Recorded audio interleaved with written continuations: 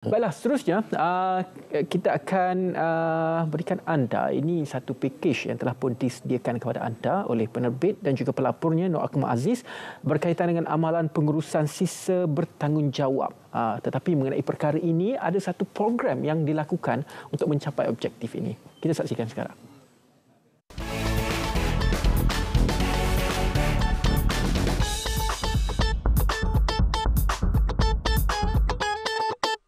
Alam Flora Sdn Berhad meneruskan komitmen memupuk masyarakat cakna alam sekitar dengan melaksanakan program yang dinamakan Cyber Eco Hunt 2023 baru-baru ini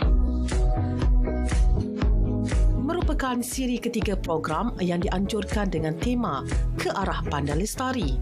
Fokusnya kepada masyarakat dalam memainkan peranan dan tanggungjawab menguruskan sisa pepejal di kawasan bandar sekaligus melestarikan kebersihan alam sekitar ia merupakan signature program kita. Saya tak bukan kita menyasarkan beberapa objektif. Yang pertama ia untuk menyampaikan message kepada orang ramai bagaimana untuk memahami dan juga menjaga alam sekitar di mana mereka perlu menjaga sisa mereka yang mereka generate atau keluarkan setiap hari.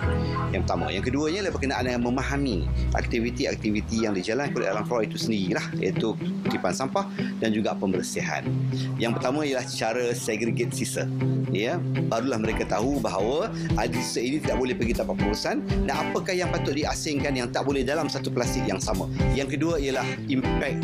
Saya juga dengar beginilah caranya ada di kalangan warga kota yang membuang sampah dengan campak di tingkat atas hingga ke bawah. Ini dua aktiviti yang saya rasa penting yang mereka dapat lebih kesan dan juga saya rasa ini dapat ditunjukkan dalam media sosial mereka nanti.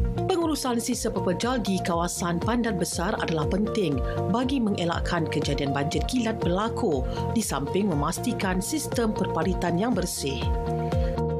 Menerusi pengaruh media sosial yang diterapkan di dalam Cyber Eco Hunt 2023, ia mampu membentuk pemahaman komprehensif bagi memastikan setiap individu lebih prihatin.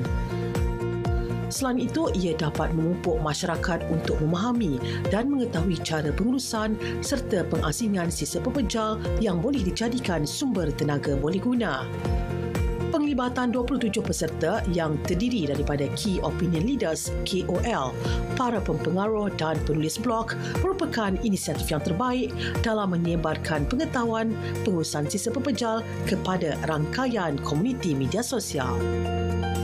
Okey, yang ini uh, kita kat sini ada empat checkpoint.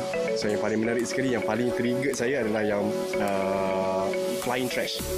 So flying trash ni sebenarnya bukan sahaja mencemarkan pemandangan, tapi memberi dia membahayakan orang-orang awam juga. Sebab kadang-kadang kalau orang daripada atas paling kat bawah jatuh kat kepala orang, kadang benda tu patut dekat bawah jalan-jalan pijak jatuh terpesok so basically dia membahayakan orang lah so flying trash ni tolonglah guys uh, jangan orang kata apa buang sewena-wenanya sebab sebab apa nama sampah ni juga boleh menyebabkan banjir kilat dekat Kuala Lumpur ni.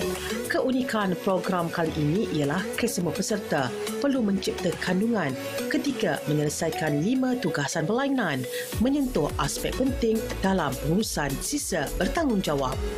Uh, this is my second time. Okay, so far uh, uh, kempen adalah kempen yang sangat bagus sebab dia mengajar saya banyak sangat especially tentang cara-cara pengasingan sampah dan macam mana alam flora bekerja sebab selama ni kita fikirkan alam flora tu hanya kutip sampah. Tapi sebenarnya mereka melakukan lebih daripada itu untuk menjaga kita punya persekitaran lah especially di bandar-bandar macam ni lah. Ok saya rasa uh, dari segi pembersihan longkang tadi tu sebab saya tak tahu dia orang ada banyak cara dia orang even guna jet uh, water untuk bersihkan tepi-tepi jalan sebab selalu kita pergi kita tengok dah bersih dah kan Uh, so sebenarnya banyaklah pengorbanan yang mereka lakukan untuk membersihkan bandaraya Kuala Lumpur ni. Diharapkan pendekatan inovatif ini dapat menangani masalah kebersihan di kawasan bandar khasnya dan memberi sumbangan besar ke arah masa depan yang lebih hijau dan bersih.